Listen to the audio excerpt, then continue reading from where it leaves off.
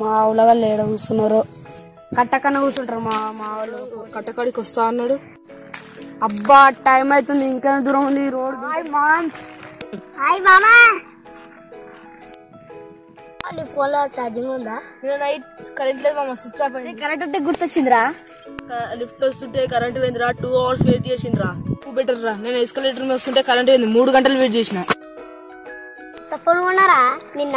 అరే ఎందులో గింత బరువు ఉంది? బ్యాలెన్స్ చెప్పించిండ్రు పదిహేను వందలు అందుకనే బరువు ఉన్నదా ఎందుకు ఊరుకుంటారా మీరు? వంద రూపాయల గురించి ఆలోచిస్తున్నాం వంద రూపాయలకి రెండు యాభైలు వస్తాయిరా. నాకు ఒక డౌట్ రా మనం బస్సు మనం ఇక్కడ ఫ్లైట్ అవ్వదు బస్సు పోతే ఏమవుతుందిరా